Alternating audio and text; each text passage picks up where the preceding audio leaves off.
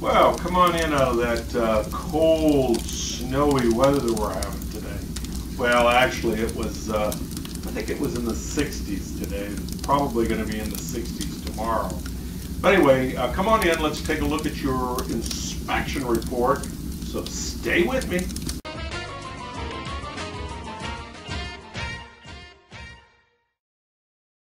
Okay, now let's take a look at the inspection report and see how it reads out.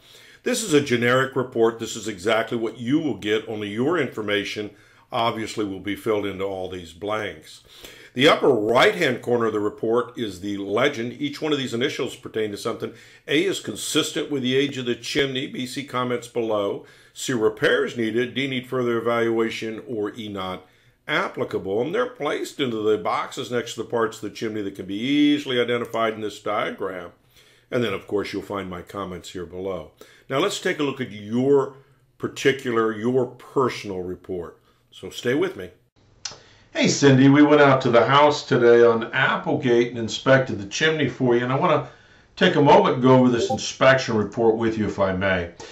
Um, let's see, open fireplace with working gas logs. We, we cleaned up the pile a little bit, got this thing lit up. Hey, by the way, there is no um, uh, gas shut off, which is code required. Must have one within seven feet of the fireplace in the same room. And also, this gas line is not sleeved. That's going to be a leak right there, a gas leak eventually.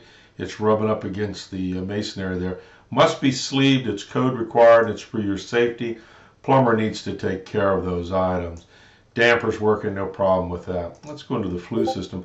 Hey, you can see that the flue, now these are just cobwebs in here that you're looking at, but the chimney is, is got a brick uh, or it's kind of misaligned in here. It's a little bit of blockage. That blockage will cause uh, carbon monoxide to come back, uh, can cause a carbon monoxide to come back into the house.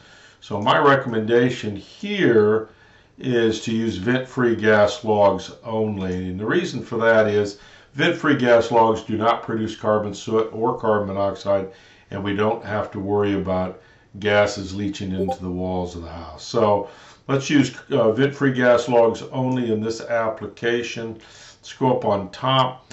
We can see that um, uh, the chimney uh, crown has got some cracks in it, and that can be repaired.